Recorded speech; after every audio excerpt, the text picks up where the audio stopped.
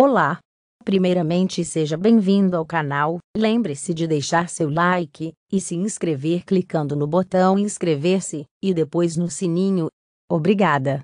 Pesquisadores acabam de recriar o um mapa de um continente inteiro escondido embaixo do sul da Europa.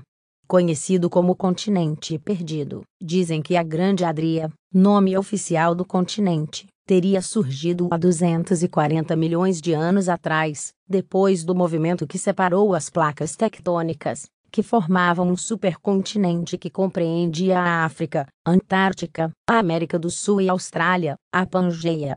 Continente perdido se chocou com a Europa há mais de 100 milhões de anos.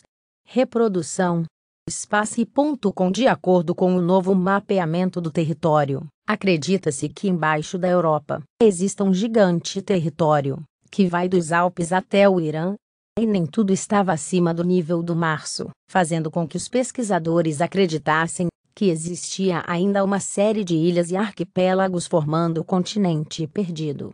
Para desenvolver o mapeamento, pesquisadores do Departamento de Ciências da Terra de uma universidade holandesa passaram a última década analisando rochas presentes na Grande Adria.